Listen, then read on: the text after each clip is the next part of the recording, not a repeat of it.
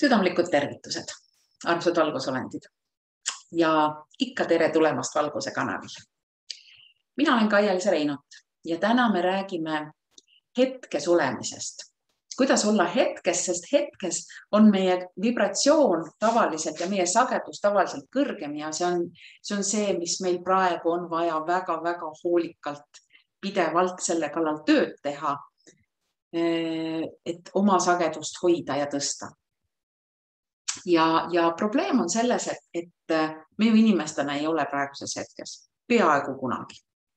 me oleme kas minevikus, heietame mingeid minevikumälestusi, hoiame, klammerdume minevikust kinni või siis, või siis äh, keskendume tulevikule, mis tekitab siis hirmu ja ärevust.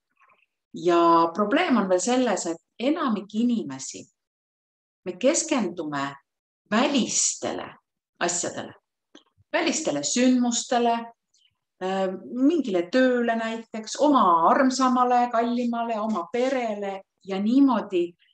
ja, ja me oleme sellega nii harjunud, et me unustame täiesti ära, et on olemas veel nagu see, see äh, mina ise ja, ja kuigi jah, öeldakse, et see mina ise on egokeskne, aga see, see olend, et me unustame ära, et on, on see olend, kes tunneb ja tajub seda kõike ja probleem on, minu meelest kõige suurem probleem on see, et me paneme oma õnne läbi selle, et me keskendume välistele asjadele.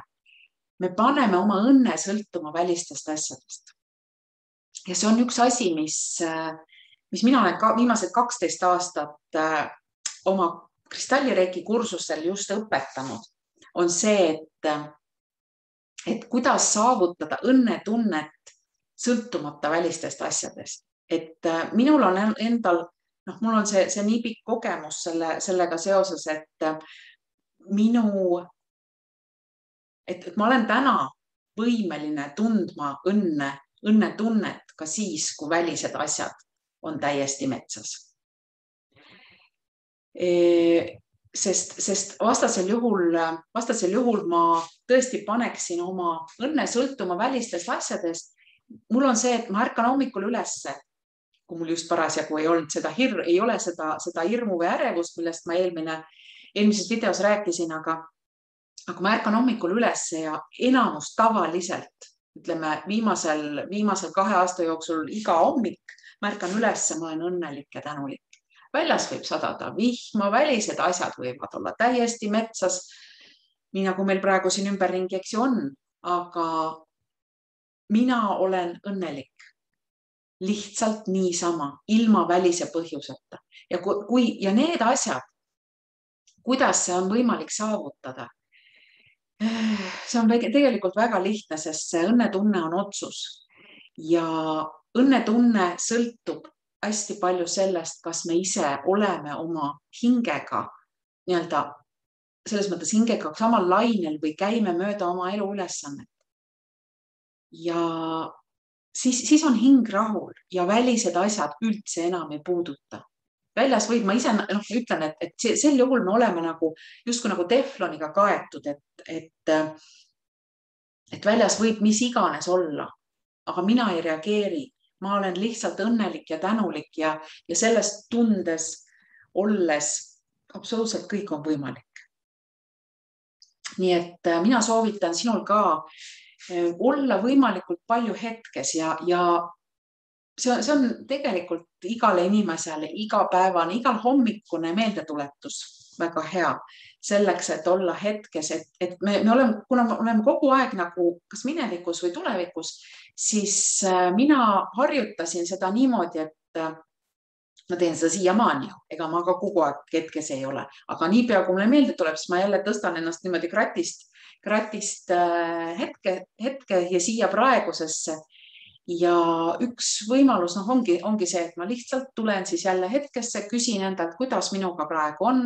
praeguses hetkes on alati kõik hästi, ei ole ühtegi probleemi siin olles praegu, kui mina teiega räägin ja teie, kui seda videot kuulate ja vaatate, ei ole tegelikult selles hetkes, selles vaatamise hetkes ühtegi probleemi. niipea kui sa ütled, et oot-oot-oot, aga mul on veel see ja väljas mõtle, mis on ja piirangud tulevad ja kõik jamad kaelas, siis seda ei ole hetkel praegu siin, kui sina vaatad seda videot ja kui mina sinuga praegu räägin. see on kuskil teises reaalsuses, see on, see on, see on täiesti väljaspool seda hetke praegu. ja võib-olla aitab sind üks selline tehnika, mida mina tavaliselt kasutan selleks, et tulla hetkesse või, või olla hetkes ja keskenduda sellele hetkele kasvõi natukene, kasvõi paar sekundit rohkem kui tavaliselt on see, et, et noh, ma hoian suu kinni ja siis tunnetan seda, kuidas ma olen vaikuses, eks ju, ma ei räägi midagi, noh, praegu ma räägin, siis ma ei saa seda, seda teha, aga kui sa paned suu kinni ja tunned või tajud seda energia liikumist, mis on sul suus, suulae ja keele vahel siis, siis see on üks hästi hea võimalus äh, tulla siia praegusesse hetke tagasi. ja noh, teine loomulikult teine, teine viis on keskenduda oma, oma südamele, siia kõrgemasse südamesse, hingekristallile, keskenduda ja tunnetada, kuidas see tunne seal tundub ja on. Nii et äh, võimalikult palju olla hetkes, sest selle kaudu oleme me võimalikult vähe hirmus nii et see on otseselt seotud, hirmus me ei saa praeguses hetkes, hirmu seisund kaob ära kui me suudame olla praeguses hetkes. vot, vot sellised teemad täna ja kohtumiseni juba õige pea Valguse kanalil. kohtumiseni.